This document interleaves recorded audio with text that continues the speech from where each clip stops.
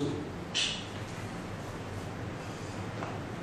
要今天要跟你分享新的系列，然后我会以以佛所书来做一个开始。然后你也知道以佛所书是以前我跟你讲过，以佛所书呢是保罗这那么多书信里面呢得到启示最高的一个一个书信，所以呢，我相信我也希望我能够花多一点时间，而且我也故意把以佛所放在最后一本书给今年度来查考。那么以佛所，我希望说我能够用七个系列来讲完它。其实我告诉你，曾经有一个牧师在英国，有个牧师叫 John Stott，就是 John 啊约翰斯斯托斯图托斯图托牧师，他用《以佛所》这本书呢，每个礼拜讲，每个礼拜这样分享，就一拿一张一张一节的慢慢去分享，然后一年有五十二个星期，对吗？他总共用了五年才讲完《以佛所》。所以《一佛所》里面有很多太多的丰富的奥妙的很多的信息在里面，担心，但是你放心，我没有打算用五年跟你讲《以佛所书》，我希望我能够用七个系列，我把上帝按在我心里面特别要跟你们分享的那个一个主题，其中一个主题来跟你们分享。所以我希望在七个系列里面呢，能够完成它，就七个礼拜来完成这个这个啊《以佛所书》的信息。还没有跟你分享上帝的话语之前，跟你讲个笑话。啊，这个笑话的主题叫应酬。啊，最近我很应酬人家，所以我很深感，呃，同感深受的什么叫应酬。有一个五岁的小孩子在晚间跟妈妈一起共度晚餐，然后爸爸没在，就很扫兴、很很失望的问妈妈：“妈妈，为什么爸爸总是不跟我们一起吃晚餐？”然后妈妈说。没有办法，爸爸要在外面做生意，所以他要应酬。然后五岁孩子他根本不知道什么叫应酬，也不懂应酬什么意思。然后他就问妈妈：“妈妈，什么叫应酬啊？”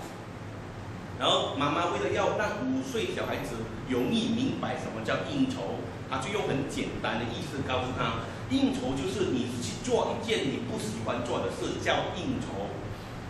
然后妈妈听了，啊，儿子听了，哦，我明白了。然后就当晚就去睡觉，就这么隔天起来，然后这学这个小五岁的孩子要去上幼儿园，就穿好衣服，然后吃了早餐，拿了书包，然后呃就跟妈妈说拜拜，要去上学了。然后转过头跟妈妈说，妈，我去应酬了。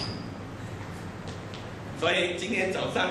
这里面，我也希望你不是来应酬的，你是来见上帝的，你是来敬拜神的，阿门。你不需要应酬我，你也不需要应酬上帝，因为你的生命需要有一位神在你生命当中。哈利路亚。如果你有圣经，请你打开《以佛所书》第一章第一节。第一章第一节到第十节，然后我们跳到十五到十七节。如果你打开了，我们来看，一起来看。我读圣经和二本第一章第一节这么说：奉神旨意做基督耶稣使徒的保罗，写信给以佛所的圣徒，就是在基督里有忠心的人，愿恩惠平安从我从神我们的父和主耶稣基督归于你们。第三节，愿颂赞归于我们主耶稣。基督的父神，他在基督里曾赐我们，呃，赐给我们天上各样属灵的福气。第四节，有就如神从创立世界以前，在基督里拣选的我们，使我们在他面前成为圣洁，无有瑕疵。然后我们跳十五节，因此我我既听见你们的信。你们的你们信从主耶稣，亲爱的众圣徒，就为你们付出的感谢神。祷告的时候常提到你们，求我们主耶稣基督的神，荣耀的父，呃，将那赐人智慧和启示的灵赏给你们，使你们真知道他。那我们稍微给你一些短片，看看以佛所里面的介绍。没关系，这是有声音的，都没关系。这个以佛所里面呢的奥妙有智慧，有爱，有吗？然后还有呃救赎 redemption，然后有合一，圣灵的合一，有能力，有得胜，在耶稣基督里。所以呢，以佛所是一个相当丰富属灵的奥妙和属灵的秘密，在这一佛所里面。那么很多人信了耶稣，很多人就是这样。因为哦，信了耶稣这样就 OK 入门就可以了。其实圣经告诉我们说，当耶稣拯救我们，好像我们买一样东西，比如说我们买一粒风扇回来，其实你每次买，你每次买一样产品电器，它都会给你一个 menu，就是操作手册。都很多人买了电器，买了产品呢，就把那个手册丢掉了，没有用了。其实呢。耶稣拯救了我们，不只是把我们安置在教会里面那么简单。其实他要我们知道，他为我们预备了什么。今天我要讲的系列，可能要回去，要回去，又再回去一下。我讲的系列就是属灵产业的系列。原来主耶稣基督，呃，在升天复活升天之后留下来给我们的很多的产业，很多人不知道，因为他没有去看那个。手册，所以因为每个人基督徒有上帝预备给我们赐给我们这个所有的产业属灵的产业给我们，我们并不知晓得。你看，一位有钱的人，有钱人，他当他临终的时候，他会做遗嘱，对吗？他就会把他的财产然后分出去。一个有钱人就能够分财产，更何况我们的万王之王、万主之主，你认为他会不会给我们一些属灵的遗产呢？而属灵的产业呢？很多人不知道，作为一个基督徒，他有上帝已经预备给他赐给他的产业。所以呢，今天我们会用一系列这几个信息、几个东西，上帝要给我们的，我们来查考。第一个，今天我要第一个星期我要跟你讲的就是。上帝赐给我们智慧的灵，那我还跟你讲智慧的灵，我要让你了解以佛所的一些背景。我们来看一些背景。哎，呀，以佛所的特点，当然你也明白了。我之前已经有讲过，以佛所是是呃他在监狱里面写的一本书。OK，啊，它是监狱书信之一，它是保罗布道里里里程中传道最久的地方。他总共待了在以佛所呢三年那么那么久，其他的地方都是半年呐、三个月啊，然后中间有一个比较长一点的，就一年八个月，就是在哥林多更多教会。以佛所教会是他待最久的教会了，的三年那么多。然后呢，他也是保罗领受最高启示的一本书信。它是福音最兴旺的一个城市之一。认罪的人烧焚烧了价值五万块钱的邪术书籍。之前我已经跟你讲过了。他总共，哎呀，你说不是五万块罢了，我也有。其实两千年的五万块，你要概念，你要明白。当时两千年前的一个工价，一个工资，一天的工资等于一块钱。五万块钱呢，就等于五万天。你有算过这五万天是多少年呢？五万天等于一百三十七天的工作天，是还还加上没有薪啊，没有没有假期啊，要假期不止哦。无薪无薪的工作，无休的工作天一百三十七年呢。所以你看他们烧掉的那个那些的鞋子邪术的书有多大？有多有有多少？是很多很多。所以呢？以佛所是一个很属灵的一间教会，属灵的气氛相相当高昂的一间教会，因为因为有保罗去传福音在那边，使到很多人得救。然后呢，他帮助我们从永恒的观点来看现在所发生的事。很多人基督徒信仰耶稣之后啊，他还原本留在现代现今的观点，很多人忙。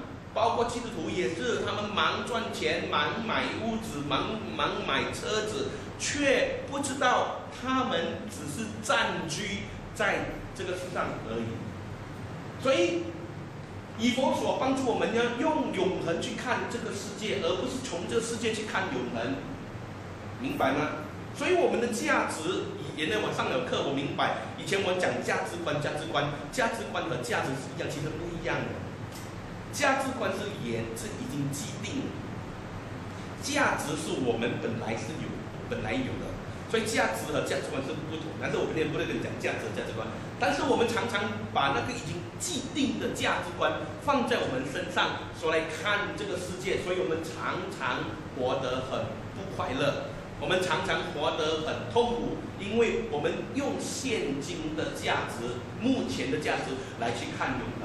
以佛所书呢，帮助我们从永恒的角度、从永恒的眼光来看现在的世界。那我跟你讲，圣经里面有一个人叫做阿伯拉罕。阿伯拉罕第一次，上帝说你要从你的父家离开你的本家本族，离开去我赐给你的地方。阿伯拉罕是从上帝呼召他出来，他是圣经里面的第一个宣教士。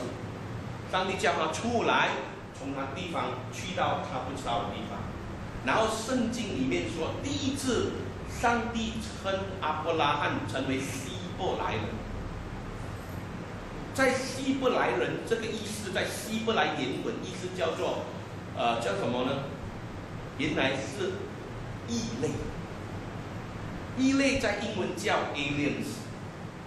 常常我们不知道我们是 aliens，我们以为我们跟世界一样的。当你的眼光，你是在世界的人的眼光，你是异类呢？恭喜你。为什么呢？因为。亚阿伯拉罕就是当地的异类，然后呢，上帝才把他称为你是我的朋友。我是 El Galil 上帝的朋友，所以上帝称阿伯拉罕你是我的朋友。常常上帝不把你当成朋友，因为你跟世界做朋友。上帝称阿伯拉罕成为希伯来人，就是说啊，希伯来啊，就是亚伯拉罕很清楚他不属于这世界，他来这世界，他来到这个地方只是暂居，只是暂时而已。一天，上帝要把他带到一个他的地方，应许的地方。今天兄弟姐妹，如果你要有知道你的你你的价值在哪里，你的价值在于你怎么来看你自己，和来怎么来看这世界。我们拼命的，我们不断的拼命的要跟世界被世界来认同，我们要世界来，呃，被人被世界来肯定，因为这么样，我们往往就被上帝否定了，我们因为这么样，往往就被上帝拒绝了。今天我再问，你是异类吗？如果你不是异类，你就有祸了，因为你是属于世界，这世界将要灭亡。所以呢，它是一个用永恒的观点来看现在的世界。然后它是一本天上的书，第一章讲到天上的福气，第二章讲到与主同坐在天上，第三章说天上各家与我们一同得名，第四章讲到升主升天高天赏赐我们各样的恩赐，第五章讲到天上国民。在地上生活的样式。第六章说我们怎样与天空的恶魔来战争，甚至最后一个 point，使徒约翰也曾经到过以佛所，因为那时候拜偶像的很多，然后约翰是约翰啊，不是，sorry 啊，使徒约翰呢来到以佛所呢，就诅咒那个啊呃叫什么名呃我忘记他中文名字，不好意思，我没有我我没有准备。他的那个，他们拜一种一种女神叫 Diana，God Goddess of Diana，呃，大大不是戴安娜，不能不能翻译，就是有一个米大大什么大米亚大雅米神，就是这样的女神，啊，就是说这个他的神像有很多很多女，她是女神来的，她这个神像有很多乳很多乳房的，就说他们就是那些。里面都是女祭司，女祭司呢是跟男人一起行淫在圣殿里面这样的，很很很邪的一个一个宗教。然后呢，约翰去了以佛所指着那个神像，指着那个庙来来呃诅咒那个庙，真果不其然，不久呢，这个庙就倒塌了，那神像也倒塌。到今天，你去以佛所啊，以佛所也就是现在现在的啊土耳其一个地方，你去看它的神庙，它和神呃这庙宇啊，到今天都不能建起来。所以这是有一点典故啊。我们来看这个背景，了解了之后，我们来看。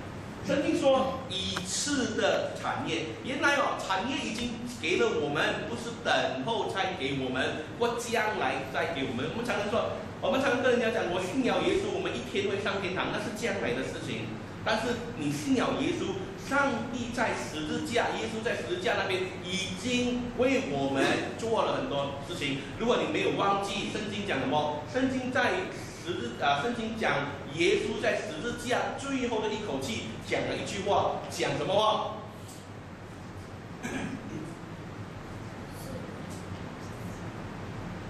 很多人没读圣经，耶稣讲了最后一句话，在十字架里面讲什么话？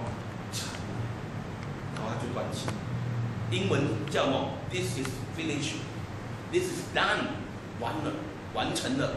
他在十字架的工作，在十字架的的。的工作已经完成了，所以呢，他就能够把他所有身上的所有的能力啊、祝福、得胜、呃、救赎，包括一切都赐给我们，包括给了我们今天我要讲的属灵的智慧。所以呢，这个已经是赐给了，不用再追求了。我们来看第一章第一节怎么说：奉神旨意，保罗做使徒不是出于自己，乃是神的旨意。那兄弟们，我要跟你讲，你一生当中，你最好真的要努力去寻求神的旨意。如果你没有神的旨意去过你的生活，你会过得很糟糕，你会过得很呃呃乱七八糟，因为你不知道神的旨意。保罗说：“我是奉神旨意来做使徒，而不是因为我爽，我喜欢我做使徒，因为我很清楚。”神的旨意，为什么神的旨意那么重要？兄弟妹，因为当你知道神的旨意，你就很确定你在做这件事情的时候，神与你同在。我们一生当中最重要的就是我们做任何事情是上帝与我们在一起，而不是我们单枪匹马，我们一个人去做。所以呢。保罗说：“我是奉主的旨意来做使徒的，我不是随便随便喜欢喜欢就做使徒的，而是因为有上帝的旨意在我身上。不管我喜不喜欢，不管我愿不愿意，今天有上帝的旨意在我身上。今天同样的问题我在问：你知道神的旨意吗？你有神的旨意在你身上吗？如果你没有，你最好找出来神的旨意在你身上去做，不要糊里糊涂的过一辈子。”保罗很清楚的，你看到他十三封书信一开头都是这样讲：“我是奉神旨意做事。”所以兄弟们，你要找出你的上帝归你的旨意出来。当他说他是基耶稣基督的使徒，这表明什么？他表明他是属于主的，他是受主差遣的，他是从主那里领受。那个权威的不是人人家给他的，不是因为恩典他叫我来做牧师，所以我就成你成为你的牧师，因为我有上帝的旨意，这么意思。他也不是说因为我是使徒我就很了不起，我很骄傲，也不是因为这样，他是而是要忠心地执行主所托付给他的使命。保罗做使徒不是出于自己，不是出于啊，而是出于神的旨意。他答应了，他答应了神的呃呃选召。他就忠心在那里受他的指分，然后今天我们看看看下去，他们他说他赐我们呃天上各样的主灵福气，对吗？这个这里我们讲到圣经告诉我们说啊啊原来我们的上帝已经为我们已经赐成赐给我们已经赐给我们属灵的福气，这属灵福气我们来看源头在哪里？源头是在神，然后呢，领域在那里是从天上来的，不是地上的。然后呢，性质是属灵的，然后管道是借着耶稣基督，在耶稣基督里才能才能够给我们。如果你不在耶稣基督里，sorry，这不是给你的。然后种类是各样，不只是样的，各样的属灵属灵啊福气。然后时间是曾经已经给了，不是现现在要给，还是将来要给。所以我们来看，神是一切福气的源头，离开了神，我们就得不到真正的福气。神所赐的福气是属天的，是人在地上无法寻找的。人必须要属灵的眼光，才懂得享用这个属灵的福气。然后。属灵的福气跟属世的福气是不一样的。属世的福气让你离开、远离神、爱世界、忘记神；但是属灵的福气使人更爱神，灵性呢更长进而进步。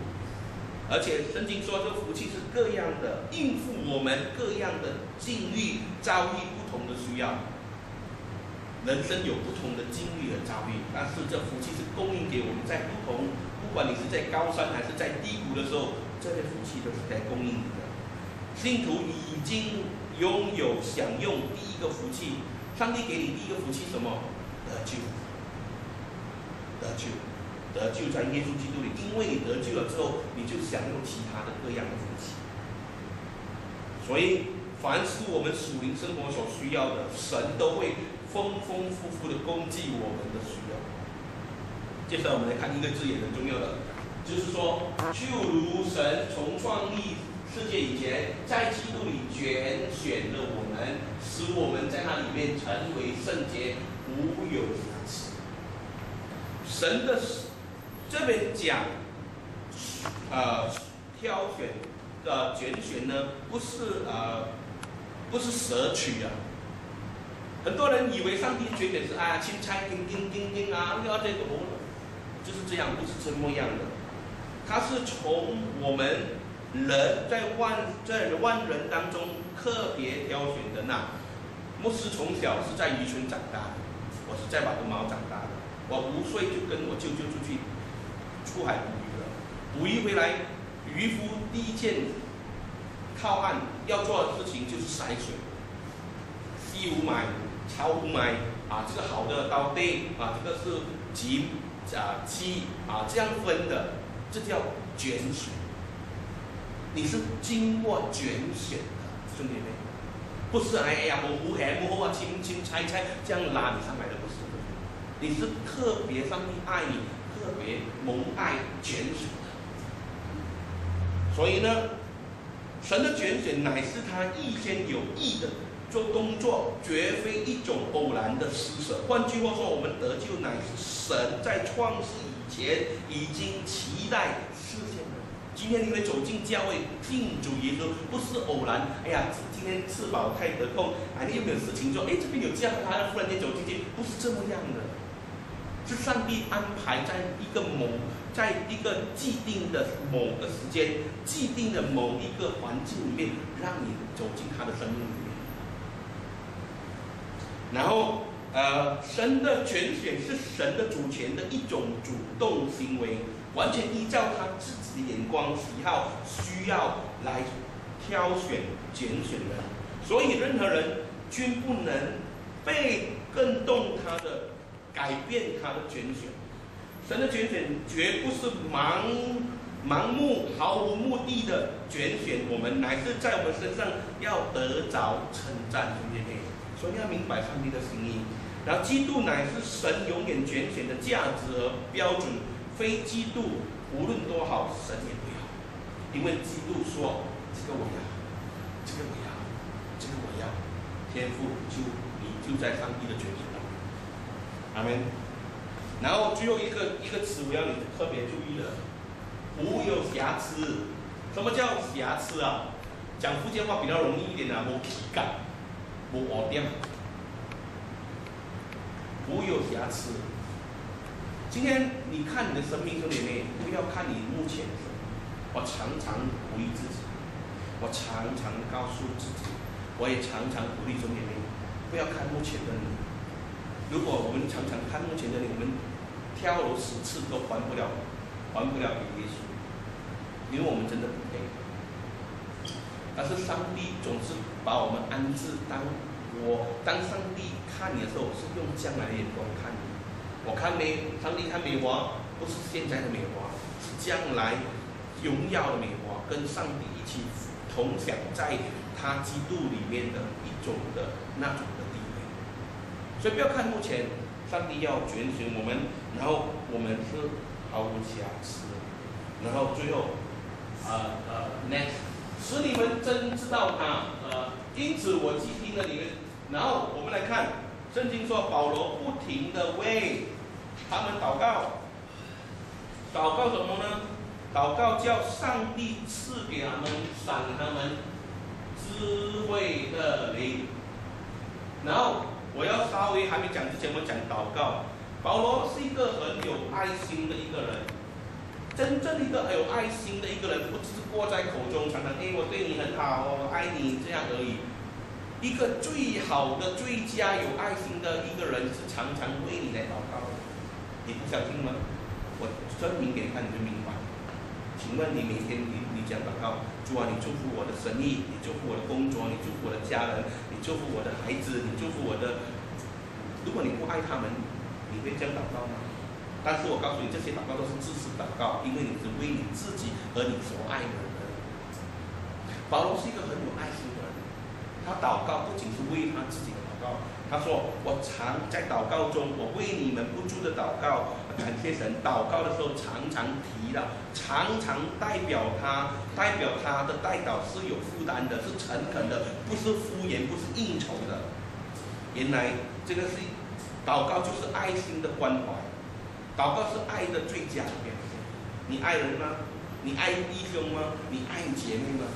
请你为他祷告。”祷告就是一个最佳的表现，爱的最佳表现。我们来继续看下去。我们还没讲智慧的灵之前，我告诉你几样东西，你必须要了解的。知识和智慧有什么分别？知识跟智慧有什么分别？知识就是信息加，信息加思考。啊，你从 Internet 找到一个信信息，然后你要思考之后成为你的知识。知识你可以去读来的，知识你可以去学来的。然后智慧呢？智慧是知识加上创意的利用应用，就成为智慧。就是说，知识是一种学问，你可以去学来。学学问，学问，学了又问，问了又学，学又问，你成成为有知识的一个知识的人。智慧是经过岁月的累积，是你把你的知识累积起来和学问呃累积起来，运用在你的生活上叫智慧。几样东西你要注意，有知识的人不等于有智慧。你看，有些人读到大学啊，可是他读死书了，他生活是很糟糕的，不懂得自理，自己处理自己。很多人读到大学出来都跳楼自杀，因为他有知识没有智慧。掌握很多实用的技能也不等于智慧。你有很多的技能，你很多你。你知道，你去读，你是读工程师的，你知道怎样把一间屋子建立起来，不代表你能够活，不能够你有，你有有智慧来生活，所以你要记住这两点。但是今天我要讲的是智慧的灵。什么是智慧的灵？智慧的灵不是靠经验可以得来的，也不是靠学习可以得来的。保罗说：“智慧的灵是主耶稣的主耶稣基督的神荣耀的父所赐给我们的，是上帝给我们智慧的灵。然后有一个目的，目的什么呢？我们来看，sorry，一个目的，目的什么呢？使你们真知道他，真知道他。什么？什么是智慧的灵呢？”智慧的灵就是上帝赐给你的，叫你能够认识真神，叫你能够知真知道他。原来哦，上帝啊，耶稣啊，知道我们呐，知道神呐，也有分真和假。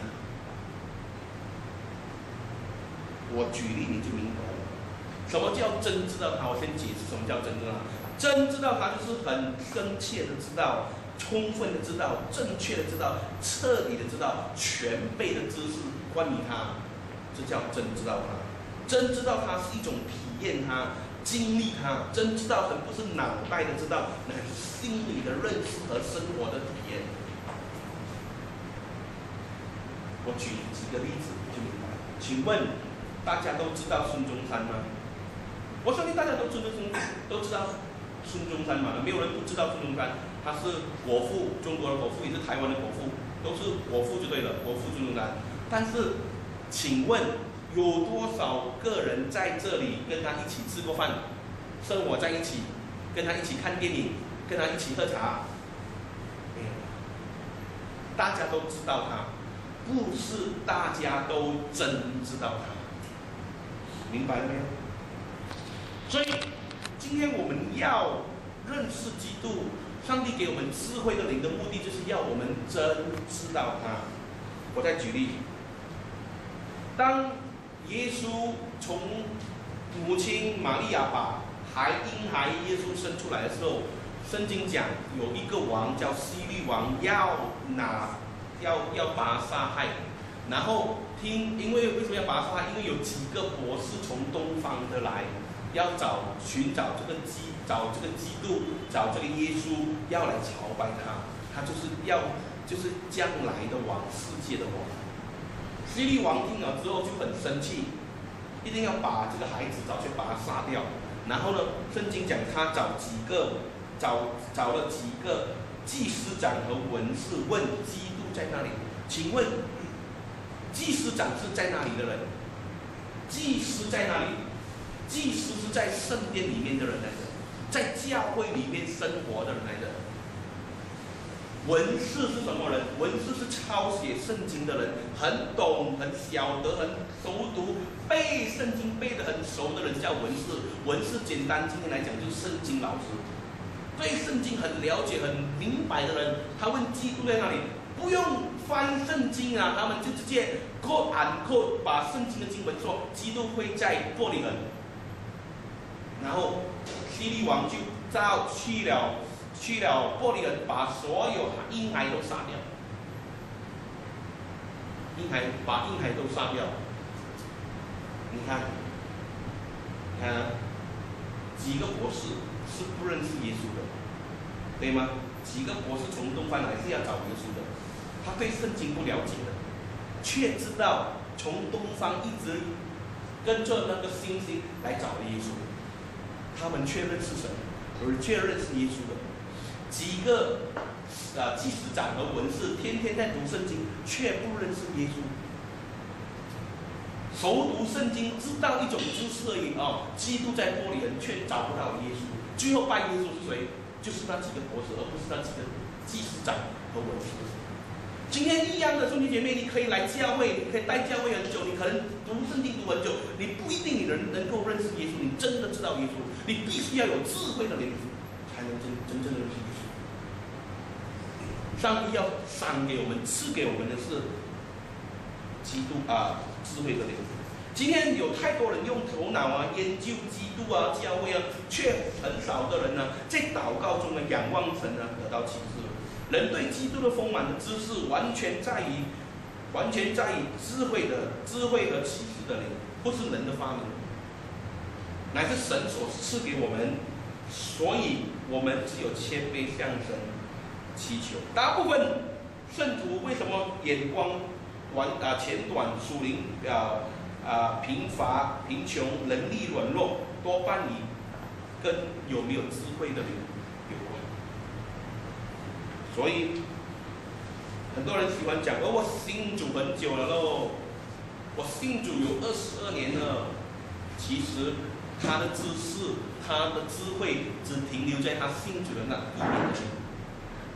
一年的信主重复了二十二年同样的事情，我每一个礼拜来教会，每个礼拜来教会，每个礼拜来做同样事情，这不是他有二十二年的认识主的二十二年经历，而是只有一年的认识经，从来没有长大。不是你去教育有多久，不是你读圣经有多少，你必须要有上帝智慧的灵，才能够帮助。摩西，然后我们来看，智慧的灵有什么呢？圣经讲，智慧的灵是圣洁的，是和平的，是温柔的，啊，温良柔顺的，是怜悯的，多结善果的，是没有假冒的。第智慧灵第一个特点呢，就是圣洁。耶稣说：“清心的人有福了，因为他们必得见神。”如果我们希望能够在生活里面见到神，就必须要有纯洁的神。神不再容忍污点或污秽参透基督徒的生命，就好像以前那个以利的两个儿子，在圣殿里面把人家献给上帝的肌肉。切切掉了上好的部分，把占为己有，然后在圣殿里面跟女人洗。如果你要你生命当中有智慧的人，你必须要选择第一过一个圣洁的生活。第二，和平。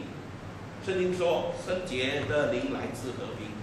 和平在字典里面的分享的意义是什么呢？是一颗不受干扰的心灵状态，远离心理。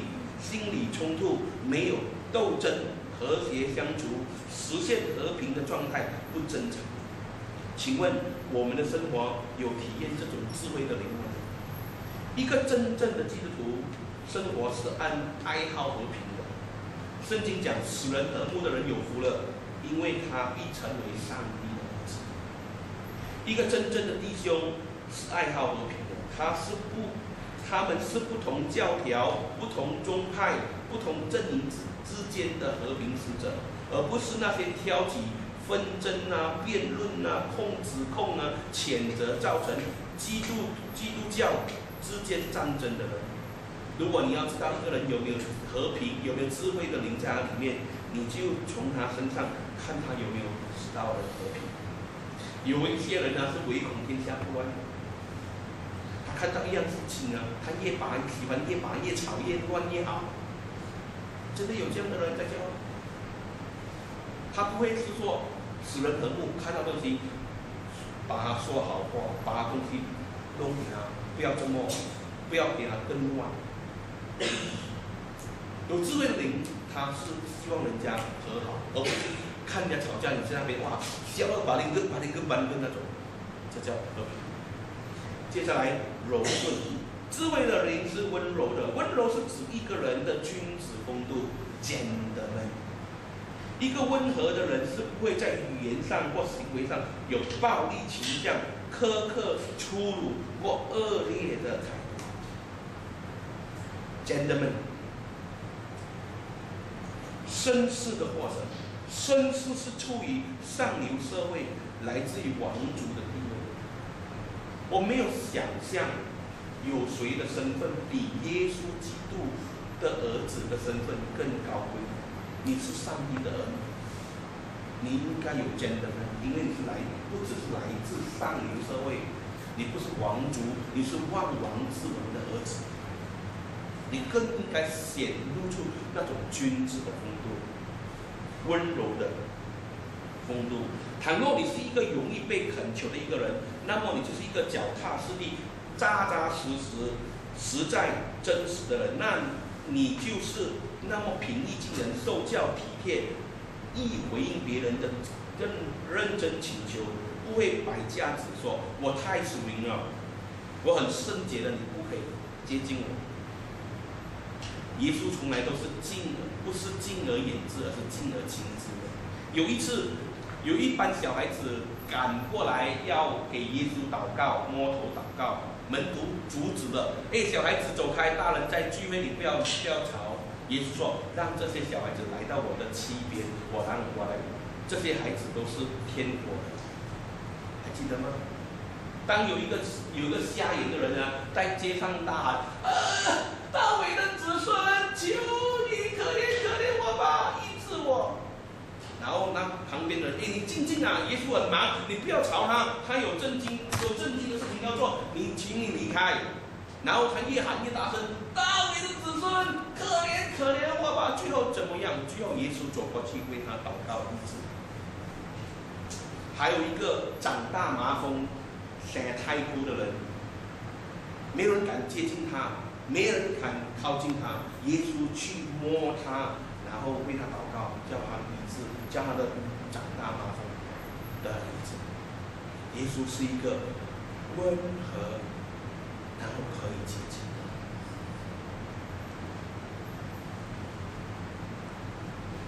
接下来我们来看几个要素，然后怜悯。什么是怜悯，兄弟姐妹？怜悯是的意思是避免伤害、惩罚、反对他。我们生命中有很多人反，不一定每每一个人都喜欢你。我们要接受一个事实：你的待人处事有多好，耶稣那么好的人呢，人家也会反驳他，要把他杀死。